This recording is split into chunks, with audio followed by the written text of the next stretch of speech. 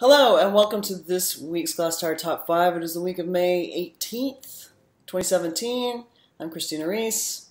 And I'm Brandon Zech. And we are counting down the top five art events in Texas this week. Number five this week is at Mass Gallery in Austin. It's a group show, three artists who actually live in Austin, and then one who lives in Georgia. The show, I, I didn't know how to talk about it when I first saw it. It's very kind of post apocalypse, you know, it's commenting on the contemporary society that we live in, the political landscape, yada, yada, yada.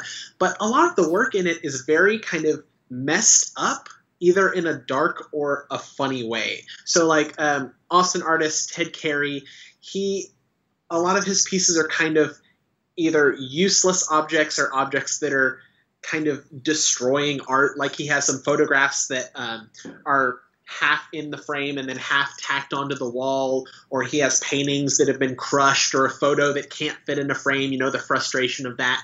So he just crushes it and puts it in the frame. Um, it's a really funny show, but it's really dark and kind of lifeless at the same time.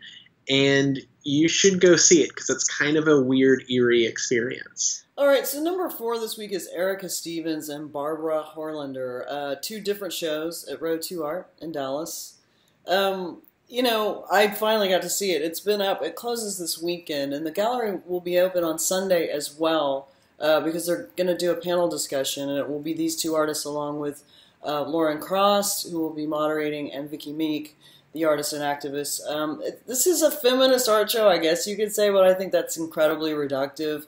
It's a lot of fun. It's incredibly charming. These women are having a lot of fun with kind of claiming or reclaiming uh, the female form back from sort of the male gaze, etc. Erica Stevens has isolated these moments from Renoir's paintings and um, and kind of blown them up and used a tremendous amount of paint and had a lot of fun doing it. You don't really have to know the Renoir angle to like the paintings. They've got their own personality. Barbara Horlander, Fort Worth-based artist, is doing these sculptures that are um, referencing body parts and women's work and domestic items. Uh, they're a little bit sinister, but they're also very, very funny, and they're they're very appealing just as just as individual objects. And um, it's fun. The whole show is fun. If you think feminist art has to be some sort of a buzzkill or whatever, this is a good way to you know, remind people that that's absolutely not the case, and actually usually not the case. Number three this week is in Houston, and it's a show by Otis Jones at Gray Contemporary. This is Otis Jones' first show in Houston in 20 years, which is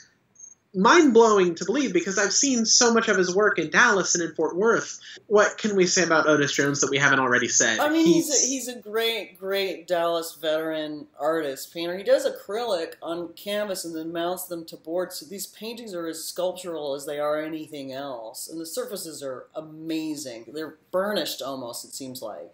The colors are very muted. He's got these little pops of color. If you want to get into the nitty gritty, he's deconstructing the process of painting by showing how it's made and kind of sh- he's showing how the sausage is made really because he's showing the glue and he's showing the staples and he's showing all of the parts of paintings that you never really see you got oh, yeah. Houston really needs to take advantage of the fact that they can go see some Otis Jones work. Right Number two this week is at Inman Gallery in Houston, and it's a show of works by uh, New York-based artist Mark Swanson.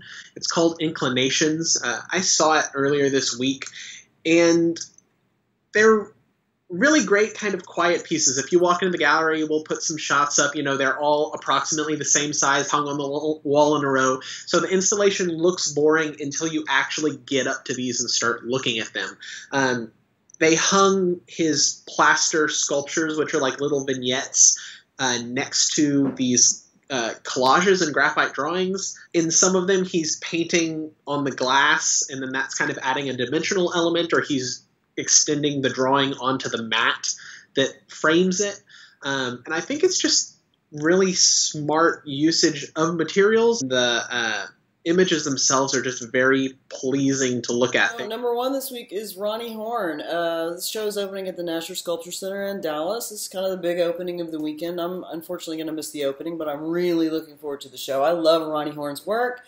She's as she's New York based, but she's as well known for photography as she is for sculpture, as she is for using text in 2D and 3D work. So this work, this show is going to be eight really large scale cast glass cylinders. It should be beautiful. This artist knows how to work with this particular material incredibly well, and I think this is the first solo show that's dedicated to this sort of body of work. Um, and it's the first solo show of Roni Horn's in the U.S. since 2010, um, despite her international status. So here's what I like about Roni Horn is she goes when she decides that she's into something and is going to focus on something she goes really really deep with it. So what are you uh what are you doing this weekend brandon? Um i'm probably gonna pop over. I think there are some like workshops and stuff happening around the lawndale uh, studio resident exhibition. Oh cool. How are you? uh i need to go to england for a little bit under sad circumstances. But I do think that while I'm there, I'll get into London and I'll get to maybe see the Giacometti show at the Tate and that sort of thing. I'll be working, no matter where you are in the world. Uh, go see some art. go see some art